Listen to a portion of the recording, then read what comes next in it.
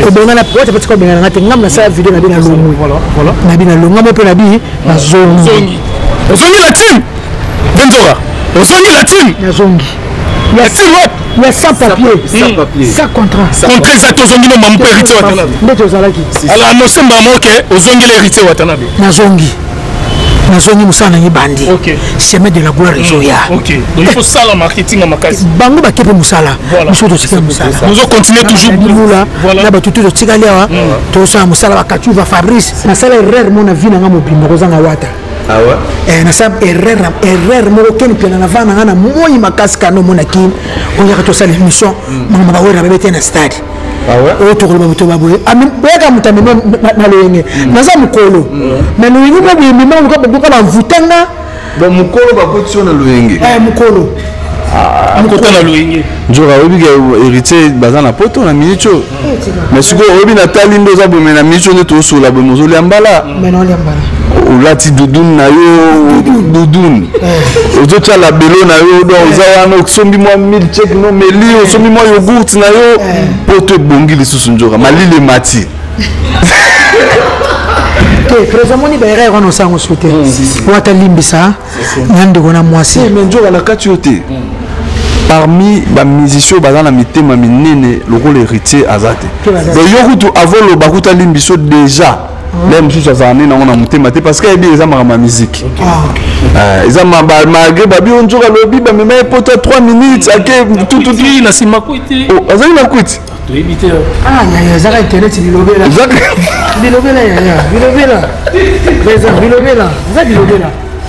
tala avion ntango mate na avion ndazai namona nzoka na business class nazokosa yo te moni ngai nde navandi boye nazwaka business te parce que nazangi mais nakota yango te mpo ngai naza économiste en plus naza mokongo hmm. mais namona nzora héritier wata amemi na business class c'est pas facile donc il faut dans la vie faut être reconnaissant mais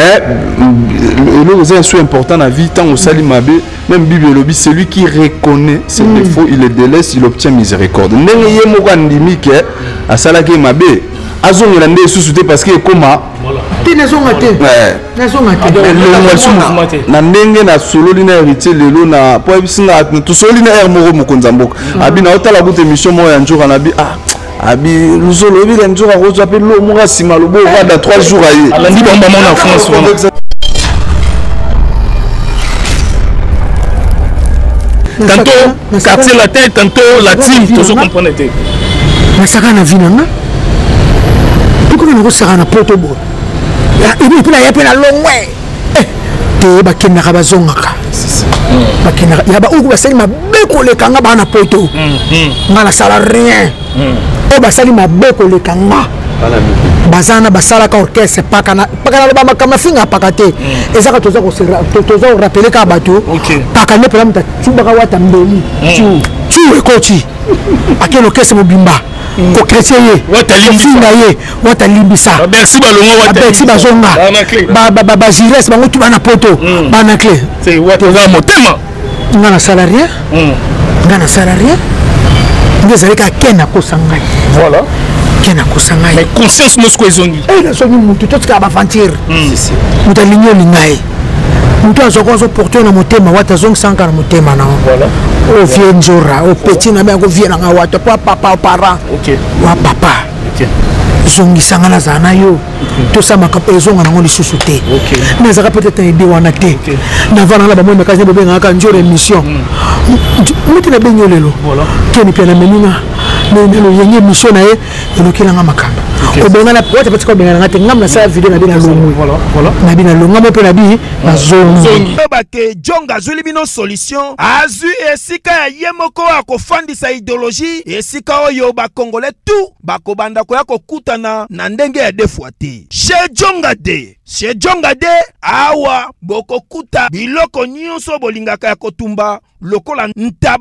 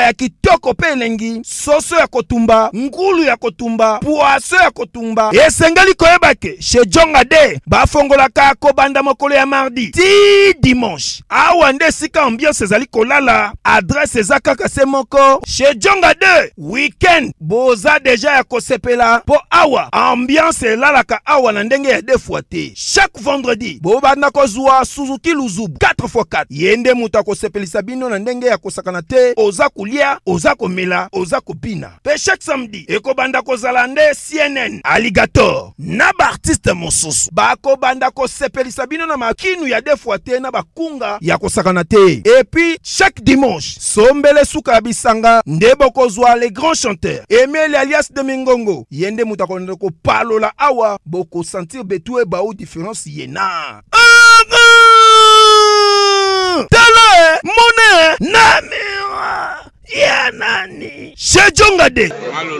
Oui, frère, Babi Tchonga, futur, futur, hein? moto akosala 50 boite na kati ya kin sejongaske soki olingi osala bareservation obengi na banimero oyo mpe bakoservir yo joli kitoko shejonga de yango nde moboko ya ambiance na kati ya paris se naturel soin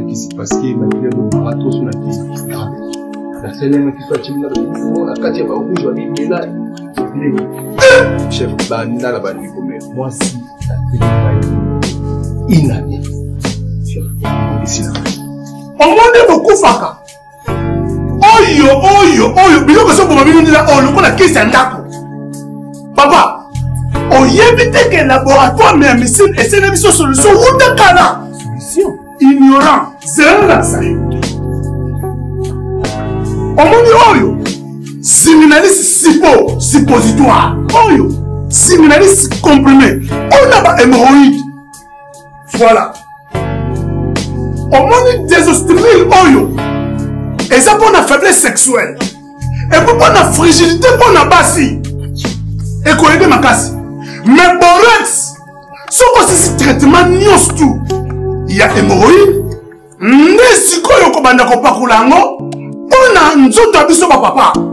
soki mpo olingi omesire basantimetre no avant banda kopakola mpo mokolo kosilisa okomesire lisusu okomonake box toujours champion okomprendre bakristo nyonso nayakisi yo okozonga esika mosusu te na congo kaka na laboratoire mbe ya misine epuis esalami na banzete ya congo banzete kaka ya congo banzete mosusu te ya congo nde mama nakosi eh, wana nde akulunga bores oyo mobali na nga asalela bores oyo soko na bores oyo te me mobali na nga nzoto ezonga ya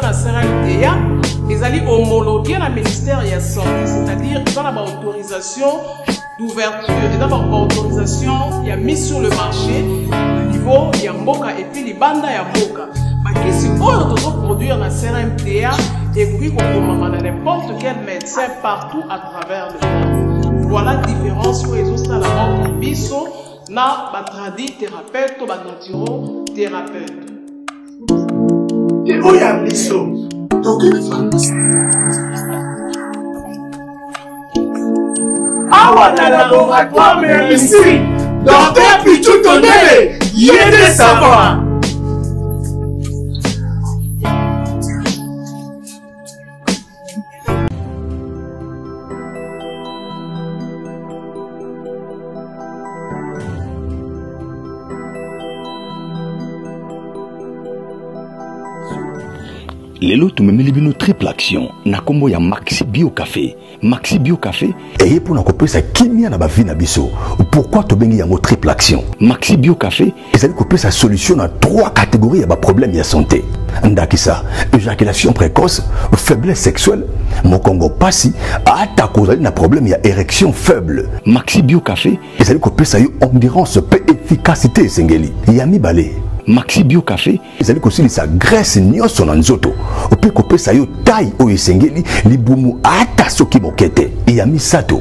mpo na baye bamesana kosala mosala ya mpasi mokolo mobimba na se ya moi to mpe na se ya malili maxi bio cafe ezali kopesa yo vitalite mpe energie ya kosala mosala makasi uta mokolo mobimba bosimba ete maxi bio cafe esalami na baplante naturele mpe efficace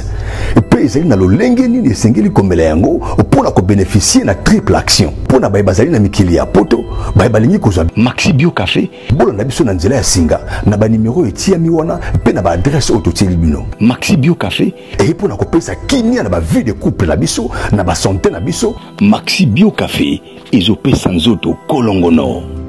Voilà, mesdames et messieurs, bonjour. Na bino na suba otala biso partout dans le monde na Elengia Congo TV. Martin Engi double vitesse à fusée na cadre kaka ya actualité. Tozana poto ya mbela biso, to ya mbela bino bande ko na biso b'artiste émission ba porte-parole ya orchestre nyonso ya République démocratique du Congo pour na culture ya mboka na biso et ça la bien. Ndeto lobaka Martin Engi aza mutu ya bato nyonso aza prive ya mutu te ngai azalaka parti pris te nayambaka nde bato bapesa message oyo esengeli na kati ya lenge congo tv mpo esepelisa babone nyonso oyo bomesana kotala martin engi bacritique baremarque esalaka bien nde nalobaka ngai nafingaka te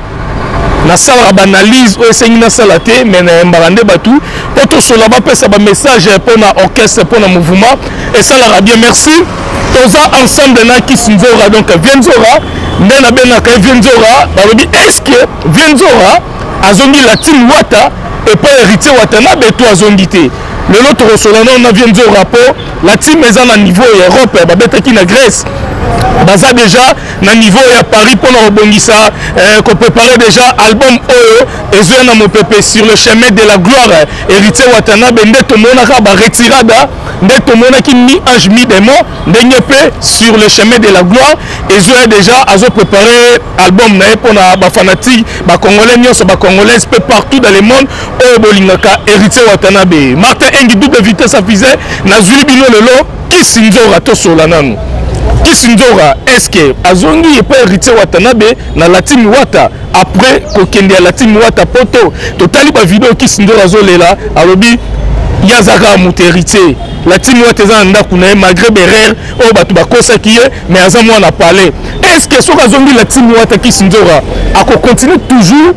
kolobela héritier watanabe na kofi olomide donc latin wata quartier latin toyebi te mais lelo ezali actualité oyo mpenza tozoyamba kisinzora na kati ya elengi ya congo tv mpo tosola yango nano retour ya kisinzora na latin wata est ce que eza ya solo to eza lokuta mais tokoyoka yango ye moko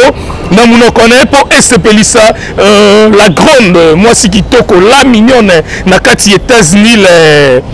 eloise mopatas mwasi kitoko eloise napesi yo bambote mwasi oyo asekaka mwasi asolaka na bato bien eloise mopatas bambote na yo merci mpe na lito tika balobi lito tika na niveau ya états-unis bambote no mpe napesi yo eh, papa na cecile lito tika bambote na yo merci na ladi fumu mokonzi aloste motema ya mama arlette fumu merci na fabiola madidi la grande oiseau tala biso pourquoi pas na karisha sadik la finlandaise mama sociale bambote na yo balobi jimi chimanga porte de la chapelle paris bruxelles solution ce jimi chimanga soki outi na aéroport ozobima ndeti limete na pont ya maingile na droite na yo omona flat hotel Léon Manager pour na ba séjour na bino qualité de qualité ba oui restaurant ya VIP salon de coiffure euh, la princesse euh, Arlette Manzongani pe azana to bossa na pete Freddy Ndongala irlandais ba oui flat hotel les irlandais Freddy Ndongala na vraiment na besoin héritier Watanabe ayembela yo chanson na album ezobima Euh, sur le chemin de la gloire il faut kosola esalaka mwa bien toza vraiment ensemble na kisindora actualité elenge ya congo tv martin engi double vitesse afise esepelisa bandeko nyonso baotala biso vie nzora kaka nde nabengaka vie nzora kisindora balobi eske azongi latine wata to azongi te vie nzora eske azongi mpe héritier watanabe to azongi te oyo eza actualité vraiment naye mpena nazwa vie nzora kisindora après kokende héritier watanabe na orchestre mobima na niveau ya europe kobeta grèce paris martin engi double vitesse ya fusé nalali te to natali kaka video ya kisi nzora abi ah wata na ngai mais ero naza na niveau ya europe esali nga mpasi na bi te fo naluka vie nzora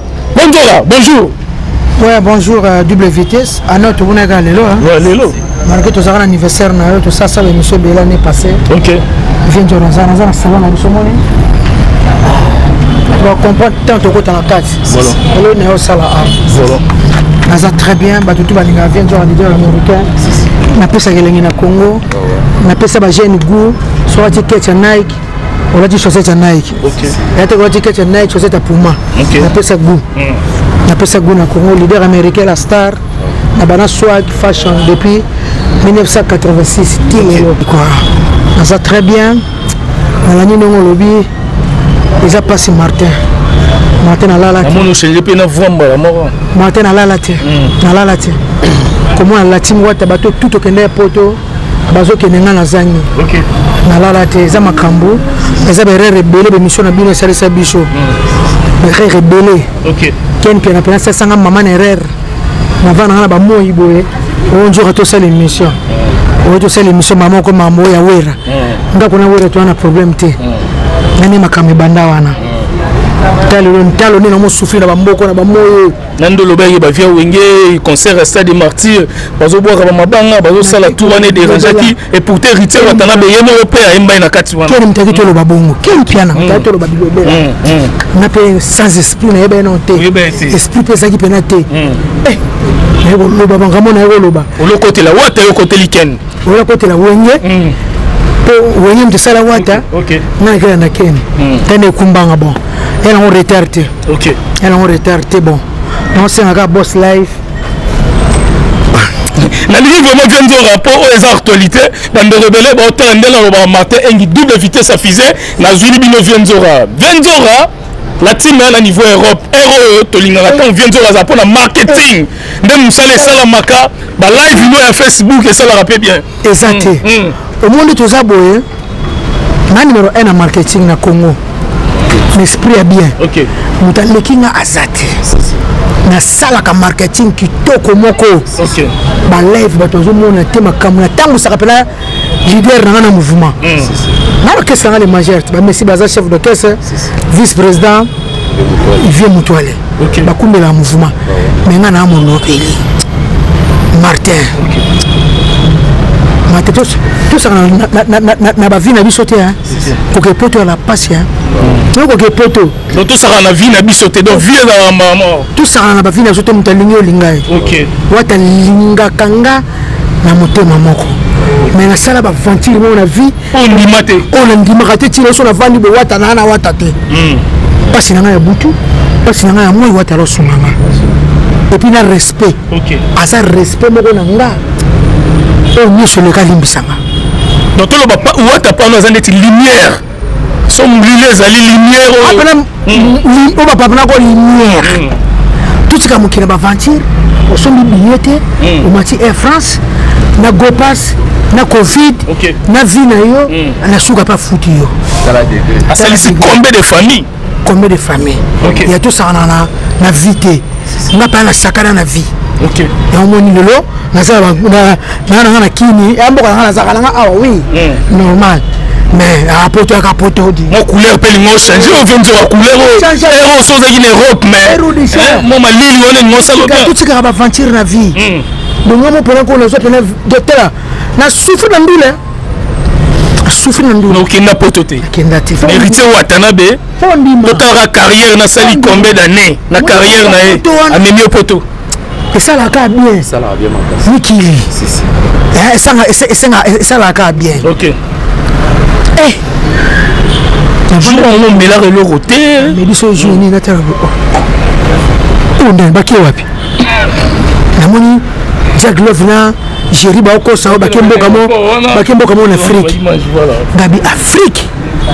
ntango nabengi makanga poriter e eh, njola toke grèce paris nalala te nalala te poto na ngai azalaki wata nalala te bos ovie njora obenga ngai leader américain hmm. eloko wana oloba nasoto eloko oloba te oyo elekaki oza papa oa parent okay. bafana spiritas balimbisa nga okay, okay. balimbisa nga nga boninga moko mpena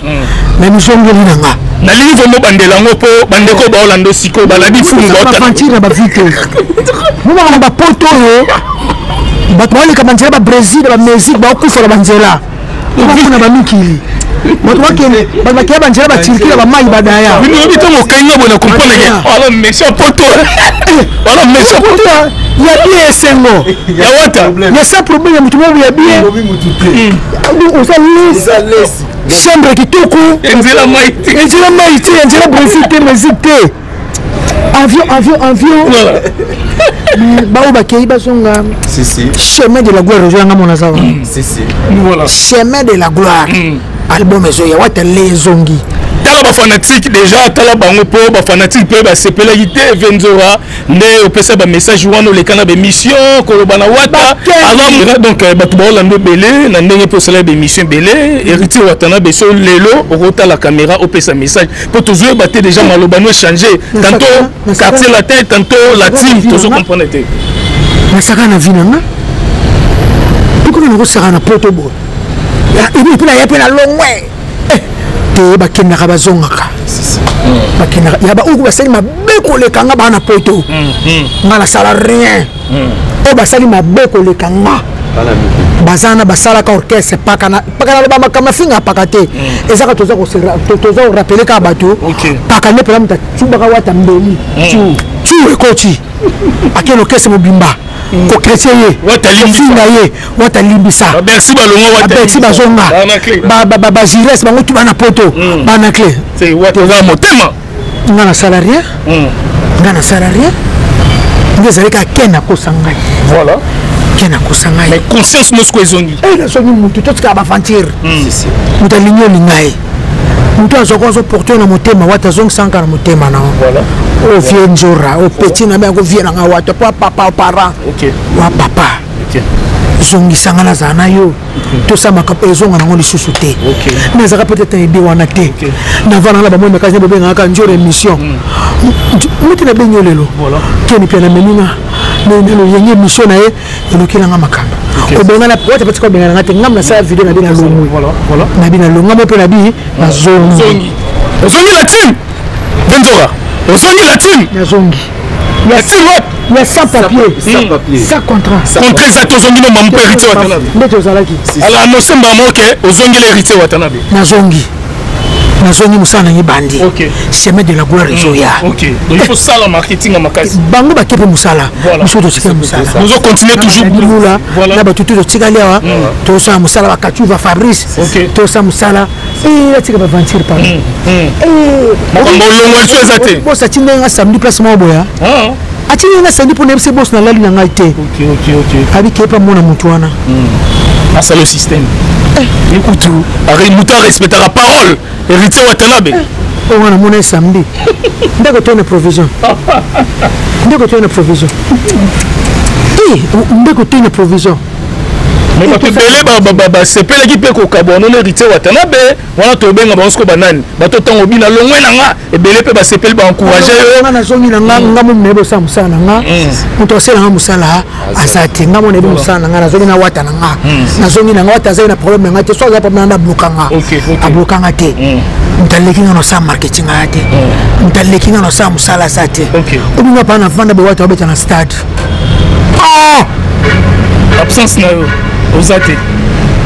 ozala mpenza te tisasalanga bolamu ya boye vraiment mais nana olobeleka ata mwa ndamu ndamu nazolobaloba me ah la spiritas oyo eleki bolimbisa bamakambo eza oyo bamosusu basala wata boyebi bamakambo ya grave balonga mpena groupe mapa mpo ata mpena okesa ekufa hmm. wana nde makambo nde eza eloko te nde eza bilobaloba internet yango omoni colonel mimi aye colonel aye naye kokanga mpena bato nyonso buzoba na internet colonel mimi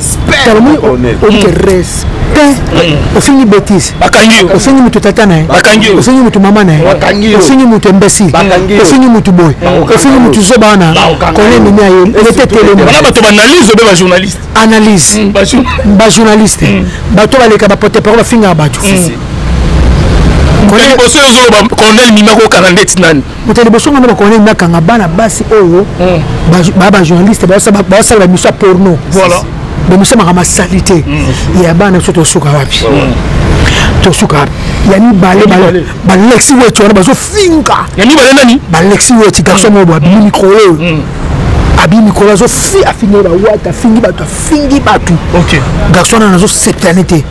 kona ebimi aye kona ebimi aye biso besili makambo ebandi na kolonel aye respect mimi nga bafundi nga ti oh, bafundi yo epa mimi yo osali nini nga nzoka image ya kala yo polemiki kala yo nafingaka te koko badeka libola mamana oh, vienzora nzoka ozongisa yango lisusu awa kona elimi azokanga te senga bolimbisi na maloba obimisaka 2017 kala mm. afingaka nde kofi mm. yo ngai bake pesa kone mini video na nga mm, kone mini ya mbalo ya 2023 makambo eye na oloba te yoka polemique eh, ndenge ya biso ya normal owata le ya normal eye kofinga te wata sa nini aleye wata sa nini aleye ezongi lisusu mesi bana jimi belaona sisi jimi bela wazalaka kitoko jimi bela umobali kitoko soki azotambola mabele eza koningana miso na ye mpembe lokola moto amona lisumu te elenge ya bolingo ezalaka na lolemo ye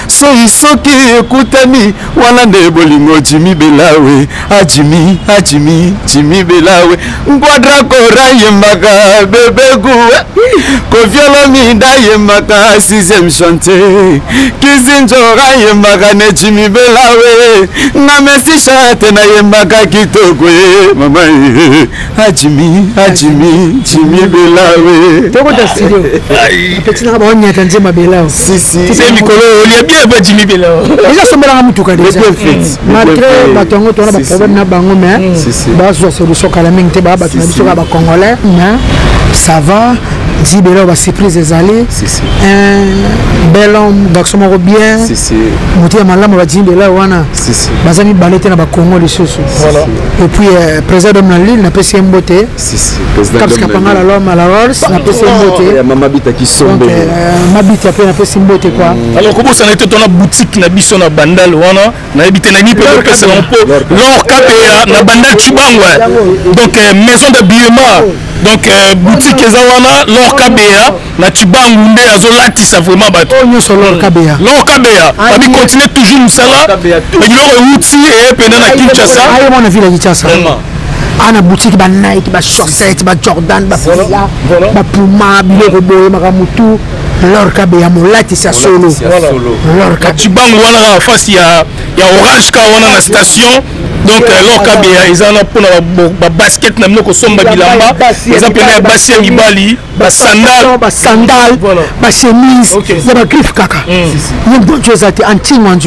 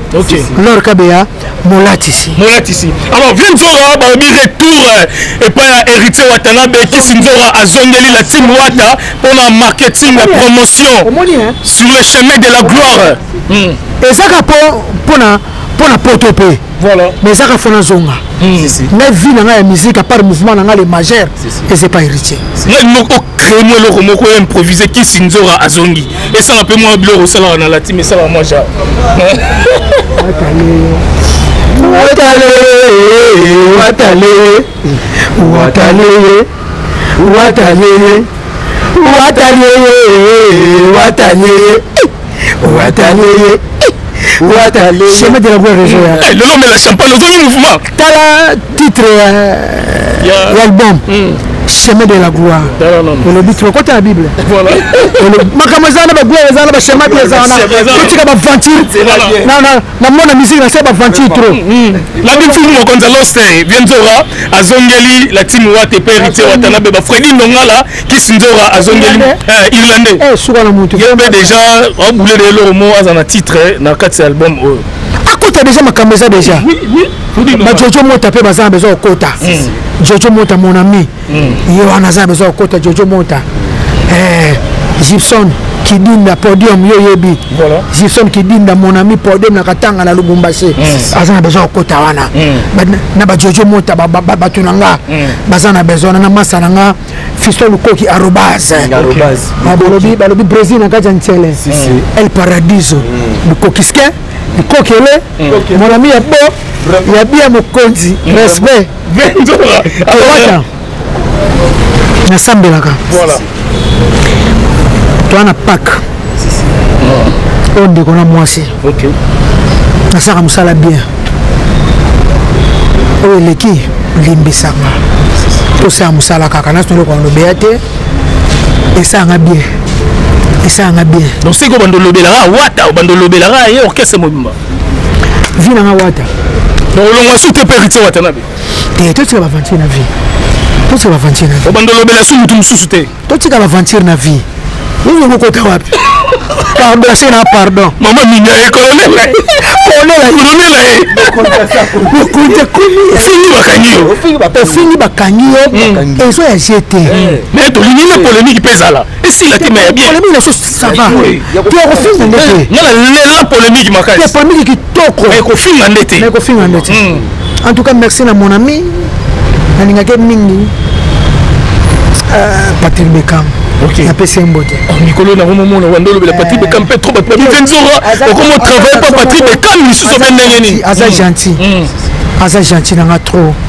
aa moto ya malamu mais osala nopa na ye te te te te te nasala content moto na ye loko moto na ye yo ozongi eno lati moto c'est mon frère aza gentil album na eza histoire batia ye poids mm. bayoka ye mpe eza bien mm. nalingi ye mingi mm. faut soutenir bajeune eza bien bato basala mosala bien oyo barespect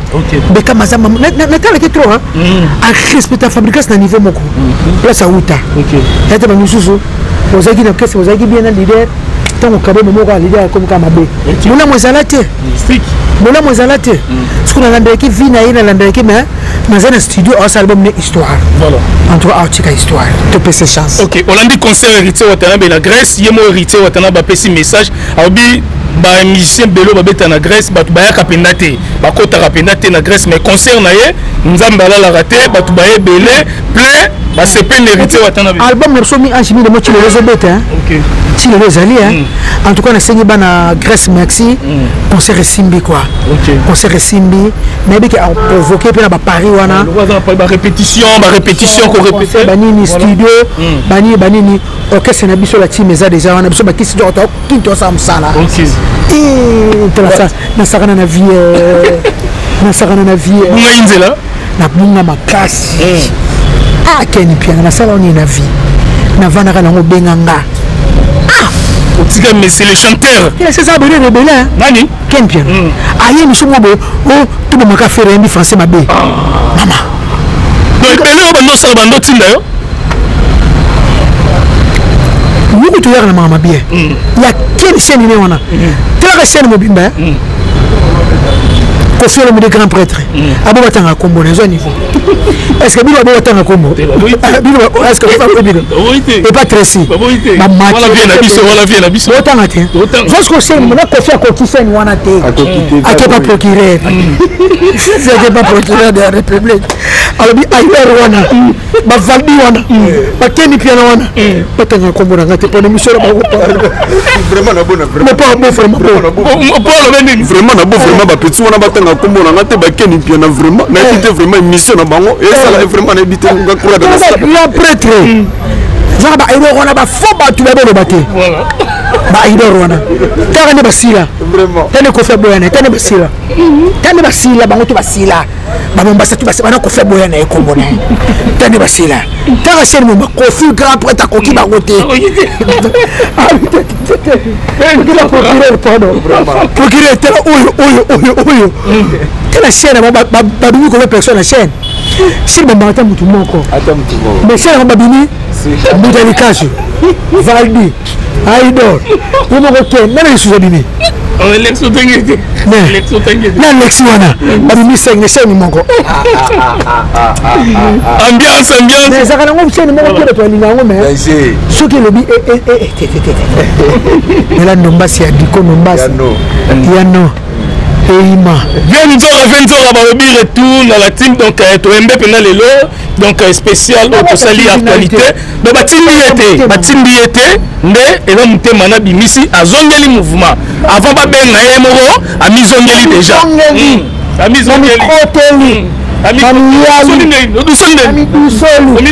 nakoti bon makambo eza evenema eza le simain président aza déjà nani président aza déjà asilusolo asilusolo aza déjà asilusolo evenema oyo esalama te oyo etikala kosalama susu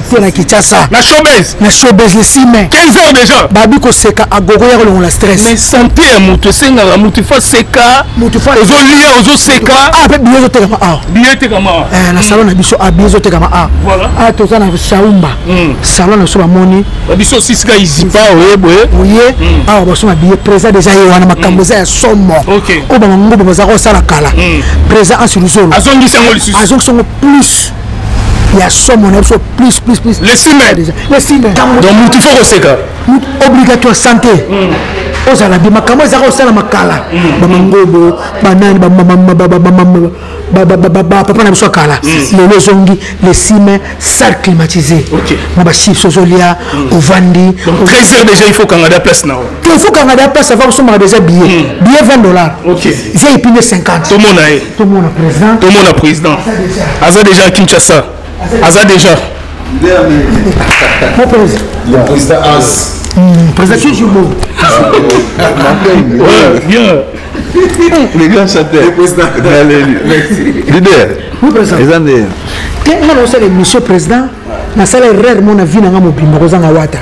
Ah ouais? eh, nasala erreur na erreur moko keni mpiana na vana nga na moi makasi kana omona ki oyaka tosala émission hmm. mama bawera babe te na stade ah oyo tokoloba moto baboye ah, boyaka moto amema na loyenge hmm. naza mokolo hmm. na loyenge mwa boye mema boka bavutanga mokolo bakoti yo na loyenge eh, mokolo mokolo na loyenge nzoka oyebi ke héritier baza na poto na minute oyo me sikoyo oyebi natali nde oza bome na miso nde tosola bome ozolia mbala olati dudun na yo dudun eh. ozotya labelo na yo don oza eh. wana osombi mwa milchek no meli eh. osombi mwa yogurt na yo mpo to ebongi lisusu nzoka malili emati te président moni baerreur wana osango su te wata limbisa na ndeko na mwasi eh, mais nzoka na kati yo te parmi bamusicien baza na mitema minene lokola héritier aza te donc yo kutu avoloba kuta limbiso déjà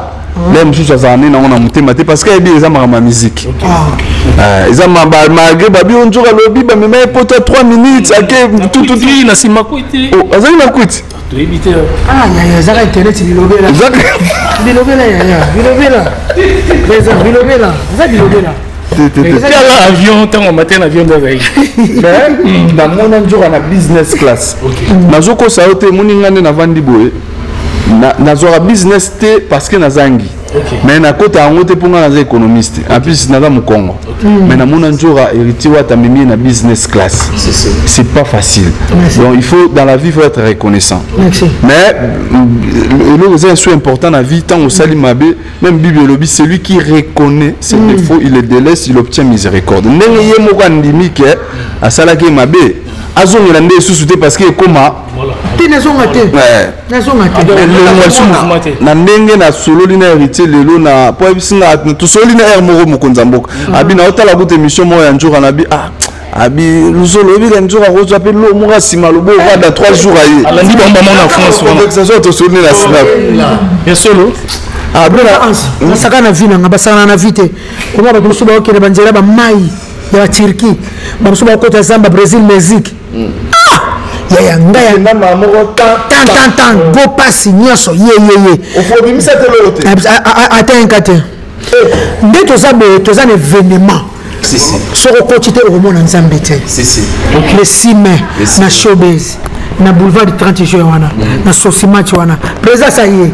oyo tosali video ya kala te video ya sika ya lelo toza na mois d'avril mois d'avril le 11 le 11 Présent est déjà. Si, si. Ma répétition est bandue déjà. Mm. Maman mema bana. Si, si. Parce na oyana mwana nga mwasi susu priel donc bana fo bazala bana fo bazala oui fo bazala ofongo mwana kitoko ah merci oza bien mm. donc eh, tozala wana biso nyonso bandeko na biso oyo oh, na okota showbase te olia mwa chips place ya bien climatiseuse apesi biloko ya kolia mpe kozala parce que donc il y aura à manger maman muvara osala biloko ya kolia ozala champagne ekozala nyonso to ekozala jour wana donc moto akolia nde na ndako ta ye kaka kolia wana obika mama oyo osala présence ezalaka sur te awa ezalaka sur te ezalaka sur te showbase azwa sale wana azwa sale wana showbase moto azwa te ekomaka ba musicien peut-être donc mais mpo moto azwa comme artiste comédie eza mpasi awa en tout cas biso tokozala wana ezala be nolingo bakoko njora bazala wana te baya na, na dacris mwana nga namonaki yebisa dacris je suis de cœur avec lui soki makambo eleki mm. na oya na otala ye namonaki ah, esalaki nga vraiment mpasi en tant que parent nayebi mm. ke okufela mwana eza facile te parce que natalaka bastatut oyebi tosololaka namonaka ndenge otyaka bebe r nyonso komona eh, atikaki biso esaki yebisa dakris jour wana aya aya koseka hmm. koseka eza agogo lapisi leki no mpe sila kozala ye akozanga te eh. ezala kitoko makasi oinvite hmm. bato mpe vie de loin kozala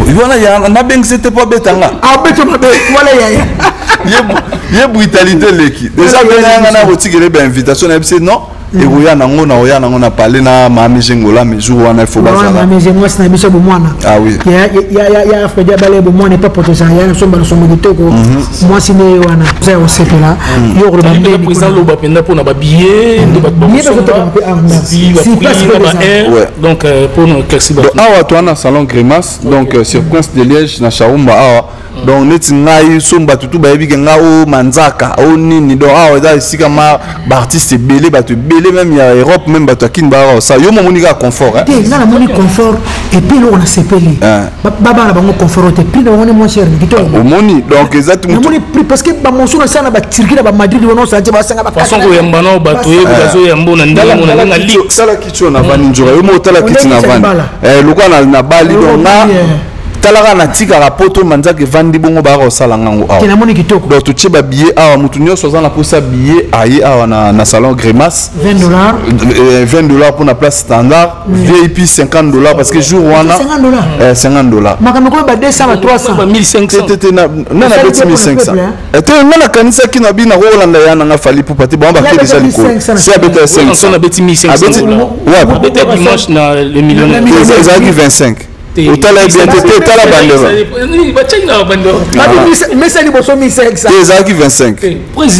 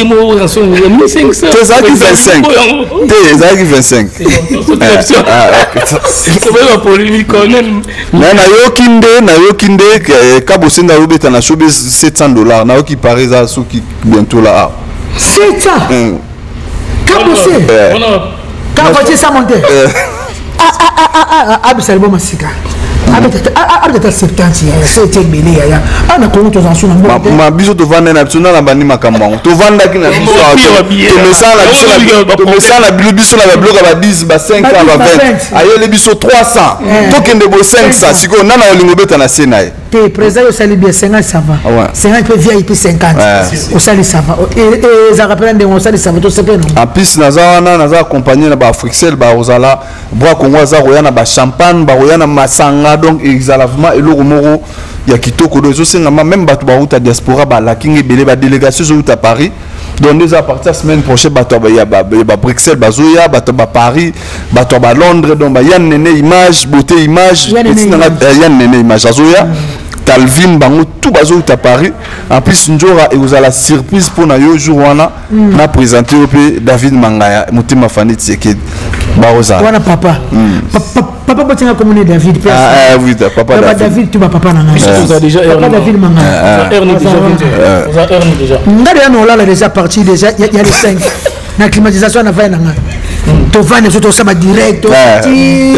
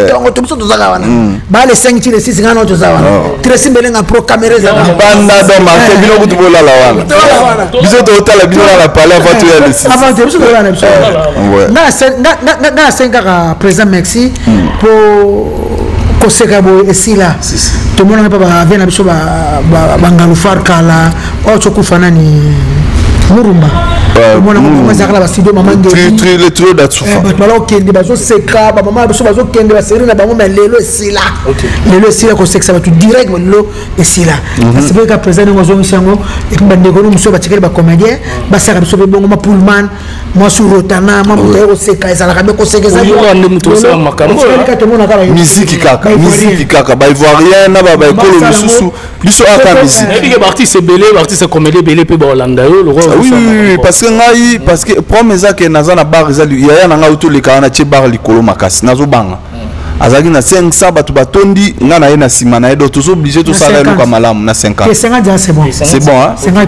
sur batakatanga babenga baoya bata brazzaville kutu bazokatya deja baoya baseza pasoti yango iloboko ya nzambe tika oyebi ke botika botika botika loboko ya nkolo tunani asalaka mabe makasi ba promesse ya lokuta eleki biso tobombaka te ah. trop de promesse ya lokuta bino bozosepela ngai nazolela nde nayebiso bino nzoka nde naza événement ezokute nga mbongo ebele ezokute nga mbongo ebele nazoyebisa bino ya solo ke bapromesse asoutenanga nga te tosolaka nde mpe naza na numero na ye auti ozala na kini kala te bozalaki zalaki na ye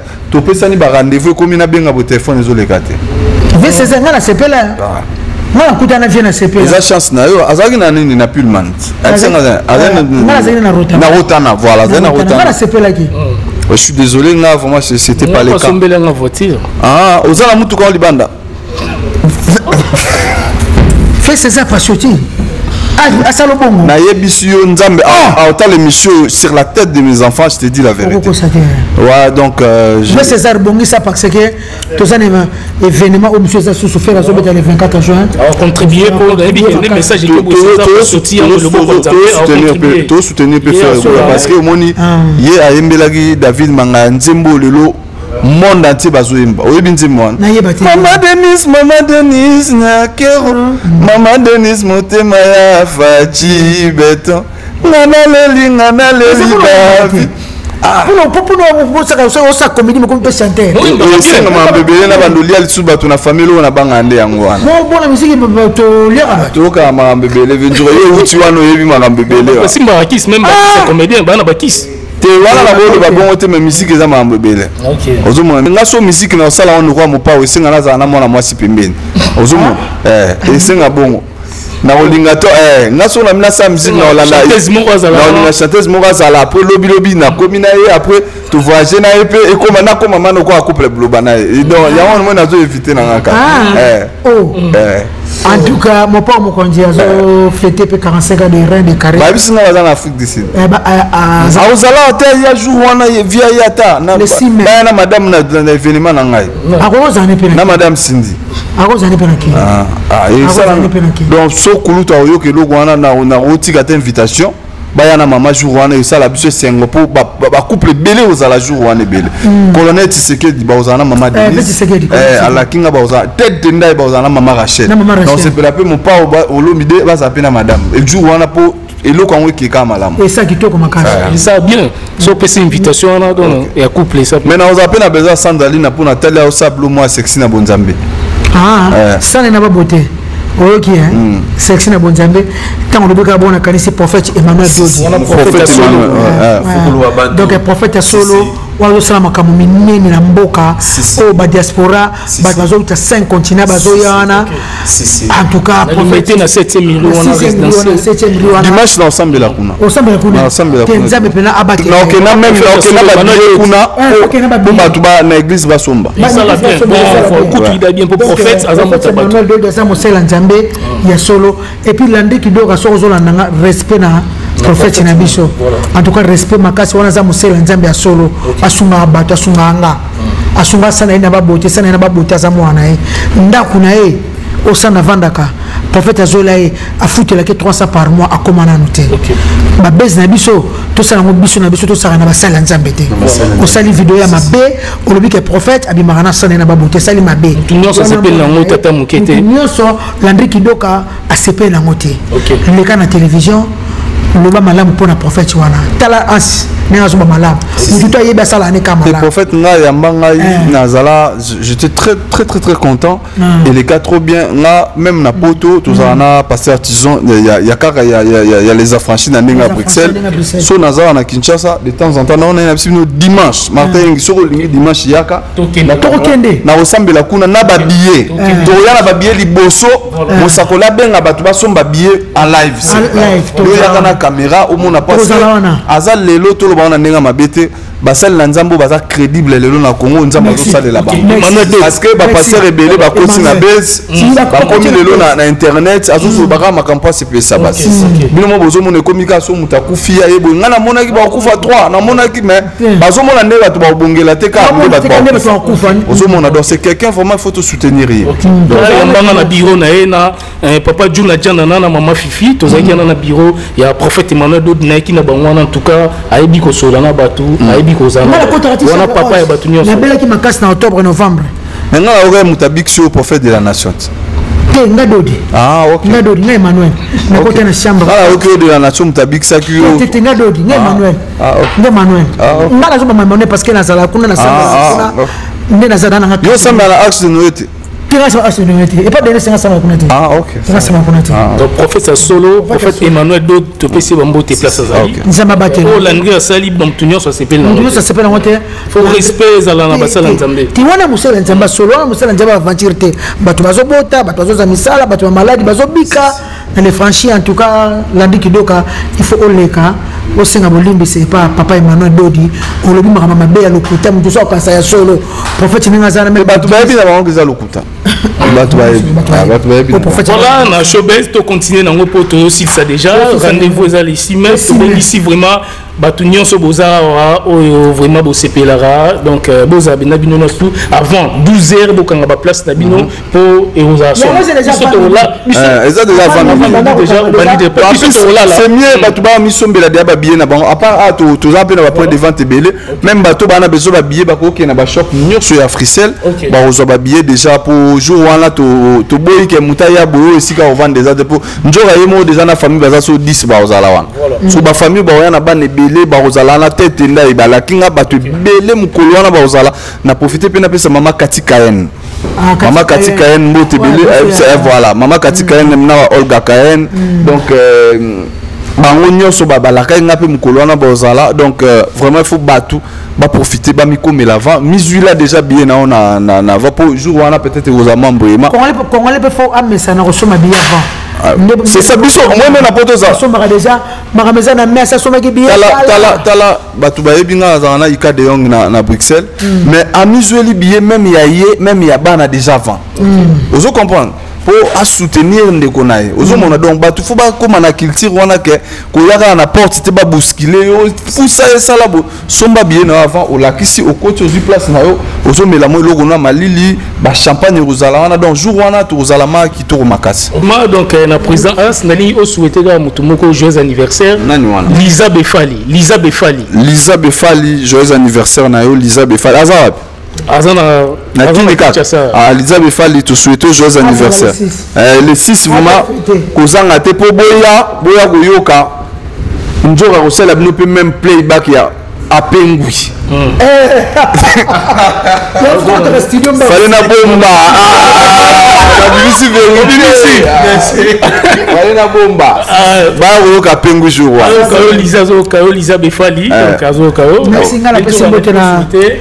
liza befali hmm, liza befali longue vie nde wata alobaka oza na longue vie hmm. nzambe aprotege yo baprojet oza yango na 2023 ezalaka na maboko ya nkolo jour en plus orchestre mobimba ya la team place baza na poto hmm. toselite bango babon séjour kuna wana eza ndako na nga baninga na nga nyonso nde bakeyiokende bozongi esalaka bien bakokima eza maka makaka olivera anakula chef miska donc bango tu bakimi solo bana mai wana babersi mwana donc to souhaite bino ba bon séjour na paris nga mikolo naza vraiment koto donc nga bobosana nga mwa moke kuna naza wa donc euh, vraiment njora merci à trop merci président donc vraiment jour wana tosenga na bino tokutana ebele le sime oyo nyonso aza na besoin ya, ya, ya, ya billet oyo ovandaka nzinga nzinga ya koto na gomba bokoleka awa na salon grimace na shaomba sur prince de liège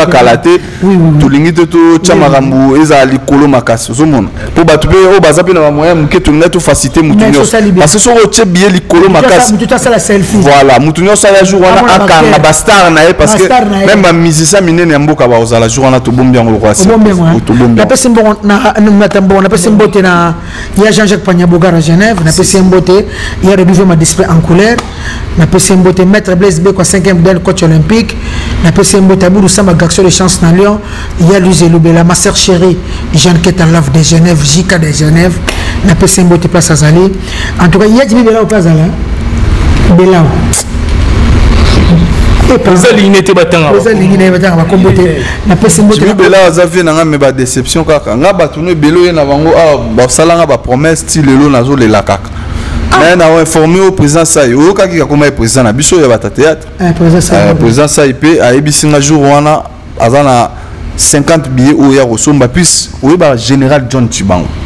eh, très élégant mokonzi john tibango place azali ye vraiment ifo général topesi yo ngai na ventura topesi yo ma losako wana yaya eh, mokonzi john tibango alobi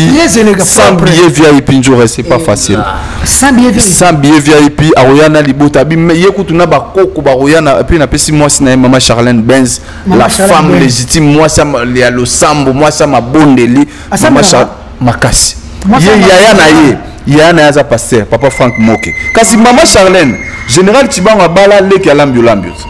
ah. mais oui abala leki alambi olambi ah, voilà leki na ye mamimoke voilà merci na ladi fu mokonzi ya loste eh. merci na karisha sadiki la finlandaise eh. mama sociale mais matangi pardon na kati yo te nakopesa mpe bambote ebele na vie na ngai okay. juf noir roland shamba okay, okay. roland shamba aza na fondation na ye je pense kala mingi te azala mpe na kin mpo asala mpe badon nakobosana te aris madiadia mm. wana bana mai na ngai ya boxe oyo balakai ngai baoya chris panzu okay. babai baoza ikuba asali exotique ya monene na londres kuna mboka ba john ngela fleuve congo okay. bruno kidiadi fo namema yo mpe pa okay. de brinch asali magasin ya monene chaussure ya solo ezowuta angleterre parce que na kin mingimingi boyebi bisika angleterre bana toyeba eh. bana tokola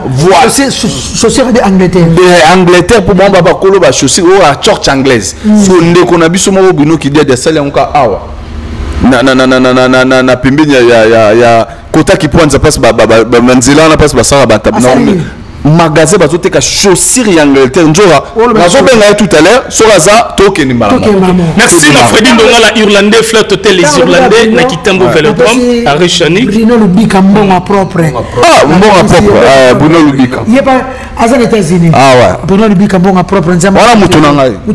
motu na ngai ye bien asolaka bien ye bien asola bien na psp dadi molaba mbote akei dadi azali azali obongo francis azali ah, okay. napesi bango bamboti esika baza wana bamasanamai na ngai merci na eloise mopatas napesi bambote ye depuis états-unis merci na bino nyonso boolanda martin engi double vitesse afise merci na mama arlette fumu balobi motema ya ladi fumu mokonzi aloste bambote na yo merci na jimmy chimanga porte de la chapelle paris bruxelles solution chez jimmy chimanga bambote no bocontinue toujours kosoutenir baémission oyo esalaka bien merci mpe na fabiola madidi na kati ya belgique botika malamu topesi bino bambote ebele merci beaucoup merci